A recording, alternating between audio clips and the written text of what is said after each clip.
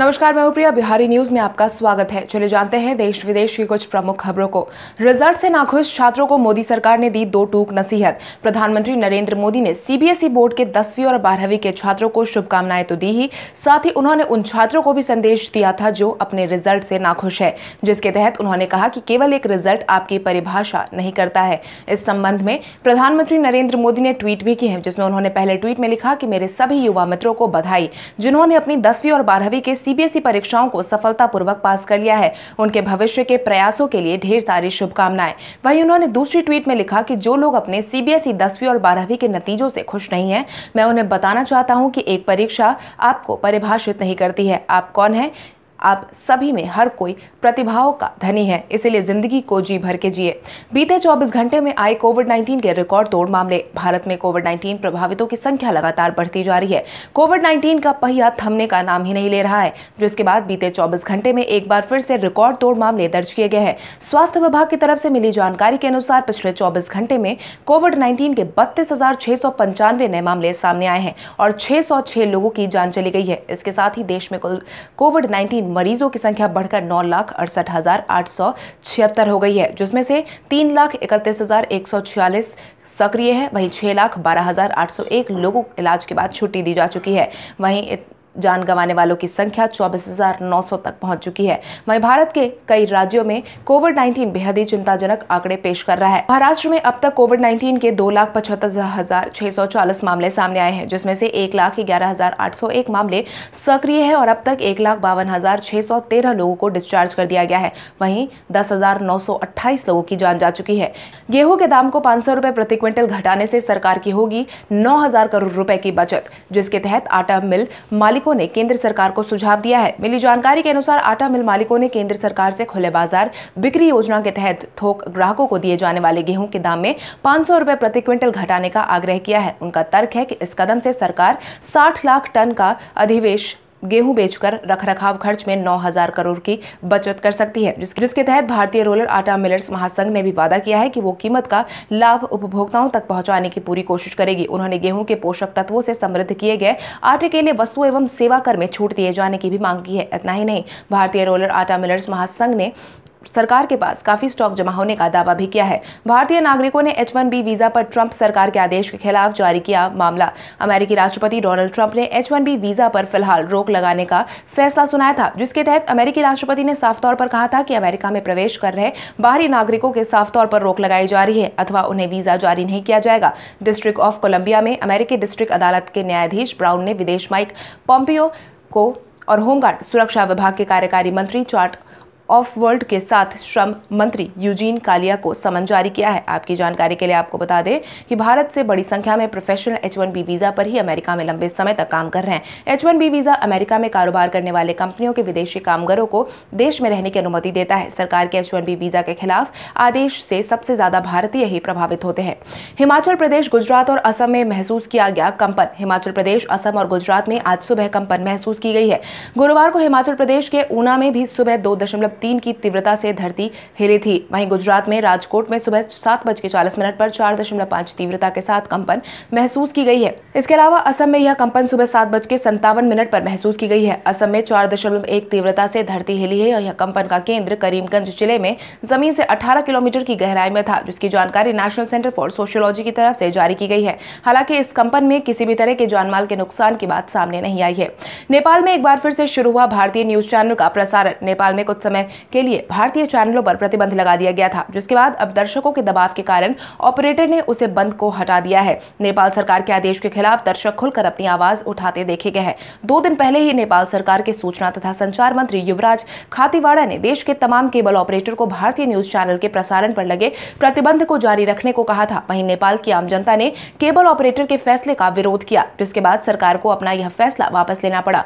मिली जानकारी के अनुसार मजबूर होकर सभी केबल ऑपरेटर ने आज सुबह से भारतीय न्यूज़ चैनल के प्रसारण को फिर से सुचारू रूप से शुरू कर दिया है। ज्ञात हो, नेपाल की आंतरिक राजनीति में चीनी राजदूत के हस्तक्षेप वाली खबर भारतीय न्यूज़ चैनल पर लगातार चलाने के बाद सरकार के दबाव में केबल ऑपरेटर ने दूरदर्शन के अलावा सभी प्राइवेट न्यूज़ चैनल के प्रसारण को रोक दिया था। सौरभ गांगुली के भाई स्नेहशीष गांगुली हुए कोविड नाइन्टीन संक्रमित।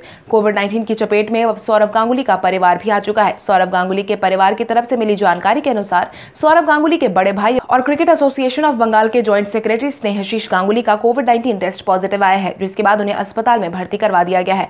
कैब के एक अधिकारी ने मीडिया हाउस को बताया कि पिछले कुछ दिनों से उन्हें बुखार था और उनका आज कोविड नाइन्टीन टेस्ट करवाया गया, जिसमें उनकी रिपोर्ट पॉजिटिव आई है, जिसके बाद उन्हें अस्पताल में भर्ती करवा दिया गया है। वहीं दूसरी तरफ़ सौरभ गांगुली को भी होम क्वारंटाइन कर दिया गया है। हालाँकि कुछ दिनों पहले स्नेहशीष की पत्नी में भी कोविड नाइन्टीन पॉजिटिव पाया गया था। आईएमडी ने इस साल की बारिश को खेती के लिए बताया उपयुक्त। भारतीय मौसम विभाग ने इस साल भारत में हुई बारिश की खेती के लिए बेहद लाभदायक बताया है, जिसके तहत भारतीय मौसम विभाग की तरफ़ से जारी किए गए बयान में यह कहा गया है कि चार महीने के साउथ वेस्ट मानसून के पहले जोन में सत्रह राज्यों में नॉर्मल बारिश हुई है। वह कृषि के अनुकूल है। दस राज्यों में ज़्यादा और दो राज्यों में काफ़ी कम बारिश हुई है। दिल्ली में भी बारिश इस बार ठीक ठाक देखने को मिली है। इतना ही नहीं आईएमडी के क्षेत्रीय मौसम पूर्वानुमान केंद्र के प्रमुख कुलदीप श्रीवास्तव ने कहा है कि हम 17, 18 और 19 जुलाई को मध्यम श्रेणी की बारिश की उम्मीद कर रहे हैं जो कमी को पूरा करने में मदद करेगी। उत्तर प्रदेश में एक साइक्लोनिक सर्कुलेशन है और मानसून के ट्रैक में भी भारी बारिश होने की संभावना है। हालाँकि कुछ ऐसे राज्य भी है जहाँ पर बारिश काफ़ी कम दर्ज की गई है।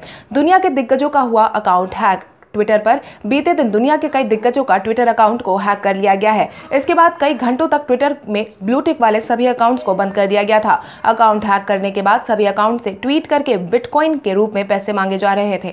हालाँकि इस मुश्किल को फ़िलहाल निपटा लिया गया है। अमेरिका के पूर्व राष्ट्रपति बराक ओबामा, अमेजोन के CEO Jeff Bezos, Democratic Party के राष्ट्रपति उम्मीदवार जो बाइडेन, माइक्रोसॉफ्ट के बिल गेट्स सहित कई दिग्गजों के ट्विटर अकाउंट को एक साथ हैक कर लिया गया था। हर किसी के अकाउंट से एक ही ट्वीट किया गया कि आप बिट बिटकॉइन के ज़रिए पैसे भेजो, हम आपको दोगुना पैसा देंगे। इसके अलावा लिखा गया कि अब वक्त आ गया है कि हमने समाज में जो कमाया है, उसे वापस लौटाया जाए। इस ट्वीट के साथ ही बिटकॉइन के ज़रिए पैसे देने की बात कही गई है, जिसमें लिखा गया है कि हर कोई मुझसे कह रहा है कि यह समाज को वापस देने का समय है तो मैं कहना चाहता हूँ कि अगले तीस मिनट तक मुझे जो पेमेंट भेजी जाएगी, मैं उनका दोगुना लौटाऊँगा। अब एक हज़ार डॉलर का बिटकॉइन भेजिए, मैं दो हज़ार डॉलर वापस भेजूँगा। जिसके बाद हैकर्स ने लगभग तीन सौ लोगों से एक लाख दस हज़ार डॉलर के बिटकॉइंस निकाल लिए हैं। अंठावन साल के सुनील शेट्टी अपनी उम्र को लेकर है परेशान। बॉलीवुड के मशहूर अभिनेता सुनील शेट्टी पिछले कुछ समय से बॉलीवुड से दूर चल रहे हैं, लेकिन वे अभी फैंस के बीच लोकप्रिय बने हुए हैं। उनके फिटनेस के प्रति पैशन और स्पेशल फ़ैन फॉलोइंग ही है, जिन्होंने उन्हें अब तक अपने प्रशंसकों के बीच में लोकप्रिय बना रखा है। सुनील शेट्टी अब अंठावन साल के हो चुके हैं और उनकी बेटी आतिया शेट्टी बॉलीवुड में डेब्यू कर चुकी है। सुनील शेट्टी खुद भी कई प्रोजेक्ट्स को लेकर व्यस्त चल रहे वहीं सुनील ने हाल ही में मीडिया हाउस से बातचीत के दौरान अपनी परेशानी का भी राज खोला था। सुनील शेट्टी ने कहा कि आप देख सकते हैं कि मैं अब अंठावन साल का हो चुका हूँ, जवान भी नहीं हूँ और बूढ़ा मैं दिखता नहीं। इसीलिए आसानी से कोई मुझे पिता का रोल नहीं देता और मैं अभी हीरो बन नहीं सकता। तो इस उम्र में आकर फ़िल्मों में सही किरदार का चयन करना, वो भी अपने उम्र के हिसाब से मेरे लिए काफ़ी मुश्किल होता है। असम की बाढ़ में सात और लोगों की गई जान। बीते दिन असम की बाढ़ में सात और लोगों की जान चली गई है। वहीं छब्बीस ज़िले के लगभग छत्तीस लाख लोग बाढ़ से प्रभावित हैं। असम राज्य आपदा प्रबंधन प्राधिकरण ने साफ़ तौर पर कहा है कि मोरीगांव ज़िले में तीन लोगों की जान गई है, जबकि बारपेटा में दो, सोनित पुर में और गोलाघाट ज़िले में एक एक व्यक्ति की जान गई है। राज्य में बाढ़ से संबंधित वाक्य में अब तक बानवे लोगों की जान जा चुकी है। आपकी जानकारी के लिए आपको बता दें, लगातार हो रही बारिश के कारण असम के देमाजी लखीमपुर, विश्वनाथ, सोनितपुर, दरगार, बक्सा, नलबारी, बारपेटा, चिरांग बोंगाई गाँव कोकरा, झार, झुबरी, शिवसागर डिब्रूगढ़ समेत कई अन्य ज़िले बाढ़ से प्रभावित हैं, जिसके बाद मुख्यमंत्री सर्बानंद सोनेवाल ने जोरहाट ज़िले के एक स्कूल में लगाए गए राहत शिविर का दौरा किया है और लोगों से बातचीत भी की है। भारतीय सेना में कायम है सैनिक स्कूल का दबदबा। रक्षा मंत्रालय में राज्य मंत्री ने बयान साझा करते हुए बताया है कि सैनिक स्कूल की स्थापना राज्य सरकार से विशेष अनुरोध प्राप्त होने पर ही करवाई जाती है, जिसकी जगह पर यह स्कूल शुरू होना है। वहाँ के प्रशासन से भूमि शैक्षणिक एवं आवासीय भवन व खेल का मैदान आदि अब संरचना मुहैया कराना अपेक्षित होता है। देश के विभिन्न हिस्सों में संचालित तैतीस सैनिक स्कूल का भारतीय सेना में दबदबा कायम है। हर साल होने वाले भर्ती में स्कूल के छात्रों का हिस्सा करीब पच्चीस फ़ीसदी रहता है। सैनिक स्कूल के छात्र एनडीए के ज़रिए भारतीय सेना में अफसर बनते रहते हैं। दो हज़ार अठारह में एनडीए के दोनों भर्ती की बात करें तो छह सौ बासठ में से एक सैनिक स्कूल से आए थे। वहीं दोबारा से चयनित युवाओं में सैनिक स्कूल के एक विद्यार्थी शामिल थे। सरकार ने कोविड नाइन्टीन इंश्योरेंस लेने पर पाँच फ़ीसदी छूट देने का किया ऐलान। भारतीय बीमा रेगुलेटर एडा ने उनहत्तर साधारण एवं स्वास्थ्य बीमा कंपनियों को कोविड 19 इलाज के लिए शॉर्ट टर्म कोविड 19 कवच स्वास्थ्य बीमा पॉलिसी पेश करने की अनुमति दी है। बीमा कंपनियों को यह निर्देश ऐसे समय में मिला है जब देश में कोविड नाइन्टीन के मामले तेज़ी से बढ़ते जा रहे हैं। इसके साथ ही इरडा ने बीमा कंपनियों को डॉक्टर और स्वास्थ्य कर्मियों को कोविड नाइन्टीन कवच प्रीमियम पर पाँच फ़ीसदी छूट देने की अनुमति दी है। मिली जानकारी के अनुसार प्रीमियम भुगतान एक बार करना होगा और फिर पूरे देश में प्रीमियम राशि समान होगी। कुछ रिपोर्ट में अस्पताल द्वारा मरीजों को बीमा पॉलिसी के बावजूद कोविड नाइन्टीन के इलाज के लिए कैशलेस सुविधा नहीं देने की बात कही गई है, जिसके बाद पचास हज़ार से लेकर पाँच लाख तक के बीमा कवर देने की बात भी कही गई है, जिसके मुताबिक साढ़े तीन महीने से लेकर साढ़े नौ महीने तक की अवधि वाली बीमा में पचास हज़ार से पाँच लाख तक का बीमा कवर दिया जाएगा। इन बैंकों में मिनिमम बैलेंस और लेन देन के नियमों में हुआ बदलाव। बीते दिन से लेन देन के नियमों में बैंकों में बदलाव किया गया है, जिसके तहत कई बैंकों ने अपने नकदी संतुलन और डिजिटल ट्रांजैक्शन को बढ़ाने के लिए एक अगस्त से न्यूनतम बैलेंस पर चार्ज लगाने की घोषणा की है। साथ ही इन बैंकों में तीन मुफ़्त लेन देन के लिए शुल्क भी वसूले जाने की बात कही गई है। Bank of Maharashtra Axis bank, Kotak Mahindra bank और आरबीएल बैंक में एक अगस्त से प्रभावी हो जाएगा। बैंक ऑफ़ महाराष्ट्र में बचत खाता धारकों को अपने अकाउंट में न्यूनतम राशि दो हज़ार रुपए रखनी होगी, जो पहले पंद्रह सौ रुपए थी। दो हज़ार से कम बैलेंस रखने पर बैंक पचहत्तर और पचास रुपए का शुल्क लेगी। वही बैंक ऑफ़ महाराष्ट्र के सभी ब्रांच में एक महीने में तीन बार लेन देन के बाद जमा और निकासी पर सौ रुपए तक का शुल्क देना होगा। एक्सिस बैंक की बात करें तो इसमें ईसीएस ट्रांजैक्शन का पचास रुपए हर ट्रांजैक्शन पर देना होगा। पहले इस पर कोई शुल्क नहीं लगता था। वहीं कोटक महिंद्रा बैंक में बचत और कॉरपोरेट वेतन खाता धारकों में पाँच बार पैसे निकालने के बाद बीस रुपए प्रति बार निकासी और गैर वित्तीय लेन देन पर आठ दशमलव पाँच रुपए शुल्क लगेगा। भारत में सात साल के सबसे ऊँचे स्तर पर पहुँचा चांदी। कोविड कोविड नाइन्टीन के इस माहौल में चांदी की चमक बढ़ गई है। घरेलू बाज़ार में चांदी का भाव सात साल की नई ऊंचाई को छू रहा है और आगे भी इसके बढ़ने की ही उम्मीद है। इसी को ध्यान में रखते हुए यह कदम उठाया गया है। बुलियन बाज़ार विशेषज्ञों का कहना है कि इस समय निवेशकों का रुझान सोने से ज़्यादा चांदी की तरफ़ देखा जा रहा है। भारत में चांदी का भाव दो हज़ार तेरह के बाद तिरपन हज़ार प्रति किलो से ऊपर चल रहा है, जबकि सोने का भाव इस समय उनचास हज़ार प्रति दस ग्राम से ऊपर चल रहा है। अंतर्राष्ट्रीय बाज़ार में चांदी उन्नीस रुपये डॉलर प्रति औस के ऊपर है, जबकि सोना अट्ठारह सौ रुपए, डॉलर प्रति औस के ऊपर चल रहा है। जानकारों के माने तो सोना चांदी के भाव का अनुपात फिर घटता जा रहा है, जो इस बात का संकेत दे रहा है कि सोने की ब्याज चांदी की तरफ़ निवेशकों का रुझान बढ़ा रही है। तो चलिए बढ़ते हैं आज के सवाल की और आज का सवाल कुछ इस प्रकार है, भारत में कोविड नाइन्टीन के रिकॉर्ड तोड़ मामलों को देखते हुए सख्त लॉकडाउन लगाया जाना चाहिए या नहीं? अपने जवाब हमें कमेंट करके ज़रूर बताएँ। इसके साथ ही आज के लिए बस इतना ही। देश विदेश की तमाम बड़ी खबरों से जुड़े रहने के लिए हमारी यूट्यूब चैनल को सब्सक्राइब करें और बेल आइकॉन दबाना ना भूलें। धन्यवाद।